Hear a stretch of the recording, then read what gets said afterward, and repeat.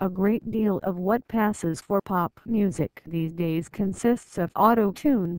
Disney Kids Failed Idol contestants and tracks composed by teams of songwriters for an outside artist.